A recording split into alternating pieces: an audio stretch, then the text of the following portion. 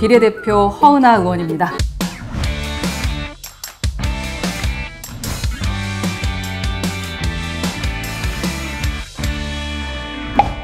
저는 청년 유권자 그들과 함께 걸어가고 싶은 의원입니다. 청년의 미래를 함께 보고 싶은데 제가 의원이 되기 전에 청년들이 가장 궁금해하는 것 첫 번째는 어떻게 하면 취업을 잘할 수 있을까요? 취업을 하고 나면 직장 생활을 할 때 어떻게 관계를 잘 가져갈 수 있을까요? 또 한 가지가 어떻게 하면 연애를 잘할 수 있을까요? 가지로 귀결이 돼요. 바로 상대방의 마음의 문을 열 수 있느냐 없느냐 문을 열어야 보고 싶은 거거든요. 상대방의 마음의 문을 여는 방법이 정말 중요하다.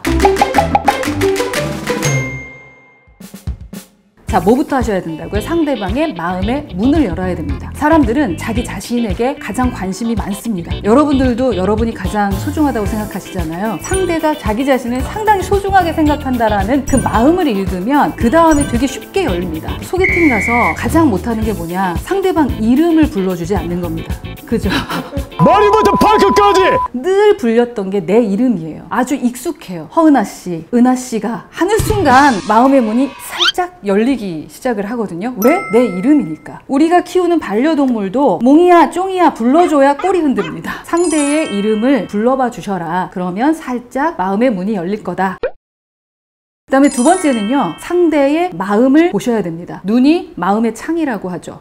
아이 컨택. 상대의 눈을 2분 이상 바라보잖아요. 그럼 호감도가 상승한다라는 연구 결과도 있습니다. 면접을 보실 때도 마찬가지입니다. 자신감 있게 면접관들의 눈을 바라보면서 자신의 의사를 이야기하는 사람은 호감도가 높아집니다. 나에게 질문한 사람의 집중적으로 눈을 바라보며 얘기해보자. 세 번째 팁은 행동으로 호감을 표현하라. 표정이라던가 몸짓을 보여주는 것도 상당히 필요한 것 같습니다. 괜찮은 남자와 여자와 연결이 되지 않는 경우가 있어요. 밀당을 하시면서 아닌 척 아닌 척 한단 말입니다. 근데 아닌 척 할 때 사람들은 자존심이 상해요. 그래서 마음의 문이 안 열려서 정성을 다하는 사람한테 사실은 마음의 문이 열리기 시작을 하거든요. 평상시에 이렇게 인기 없는 사람들은 그러니까 이거 네. 나에게 이제 관심 있다라는 걸 보여주는 것 중에 하나는 내 몸이 막 앞으로 가는 거잖아요. 면접을 보실 때도 뒤로 이렇게 제쳐서 막 얘기하시는 분은 당연히 없을 겁니다. 몸을 좀 앞으로 하고 손을 앞으로 하고 첨탑 자세라고 하는데 이렇게 사진을 찍기도 해요. 가장 카리스마 넘치는 자세라고 하거든요. 이렇게 앉아 있으면 훨씬 더 자신감 있어 보이고요. 안녕하세요, 허은합니다. 이렇게 할 때랑 안녕하세요, 허은합니다. 할 때 좀 느낌이 다른 거. 첫째, 상대의 이름을 꼭 불러라. 둘째, 2분 이상 상대의 눈을 바라보면서 진정성을 표현하라. 세 번째, 행동으로 호감을 표현하라. 요 세 가지를 꼭 기억하시기 바랍니다.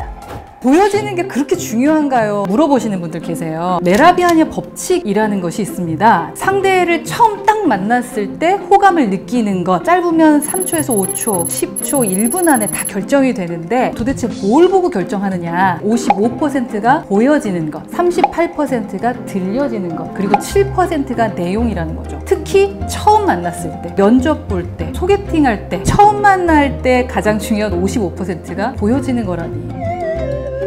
웃는 연습이 그래서 필요한 게 아닌가 하는 생각도 듭니다. 행복해서 웃는 게 아니라 웃으니까 행복해지더라 라는 말이 있잖아요. 자신감 있게 행동하는 모습들을 먼저 보여주고 그 자신감을 통해서 또 다른 호감이 느껴지는 거니까 비언어 커뮤니케이션만 연구하시는 분들이 계시는데 얼굴 표정으로도 진짠지 가짠지를 알 수 있다라는 거죠. 진짜 미소는 입꼬리, 눈꼬리가 같이 웃어요. 하회탈처럼 유재석 씨가 웃으시는 것처럼 그렇게 웃는 모습이 진짜 미소고 가짜 미소는 그냥 입만 이렇게 웃는 거 있잖아요. 그러니까 표정으로도 알 수 있어요. 그걸 디센 미소라고 합니다. 되게 센 미소, 디센 여기가 뒷센 근육이라고 하는데 그 근육을 따서 뒷센 미소라고 하는데 여러분들도 그 미소 짓는 연습 한번 계속 해보세요. 자존감이 떨어지면요 매력 없습니다. 여러분 스스로가 스스로를 사랑하지 못하고 믿지 못하면 가장 매력 없는 사람이에요. 나에게 자신감을 느끼셔야만 그게 이게 밖으로 나오거든요. 내가 내 스스로에게 나를 칭찬할 수 있는지, 내 스스로가 나를 믿을 수 있는지, 자신감이 있는지 없는지의 문제인 것 같아요. 자존감이 무너지면 끝이다. 다른 사람 눈치 보지 마시고 여러분부터 사랑해 주시고 보호해 주시고 아껴 주셔야 됩니다.